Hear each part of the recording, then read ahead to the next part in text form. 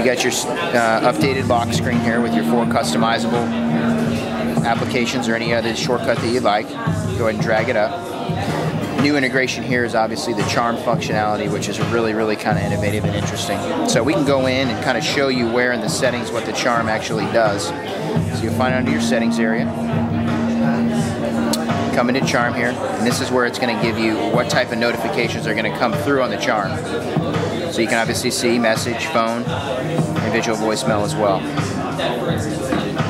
plenty long enough cable here so you'll be able to put it far in a purse, be able to attach it up to a shirt possibly, get it into an area that where it makes sense where you can see it where it's visible. Some of the other nice, neat functionalities too are elements that uh, are only tied in here to the HTC Rhyme with HTC Sense. There's some of the shortcut functionalities as well. So this is a whole widget in itself. I personally really, really like this. Obviously, you see I have a personal picture up here, but I like it because I'm able to see it. You know, I still have my clock functionality down here as well, as well as my weather. I can go more in depth into it. We can get into loading the weather functionality. So you see something very reminiscent of the new Sense. It's going to give you that separated, Of course, you can go in hourly and four day as well.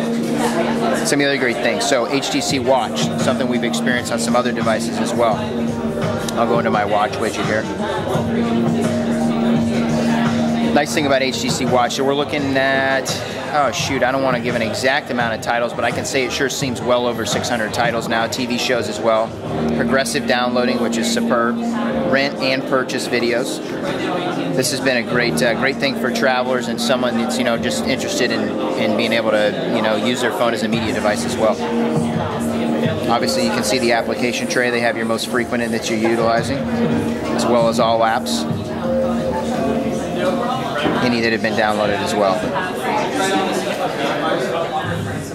A little bit different on Leap View now.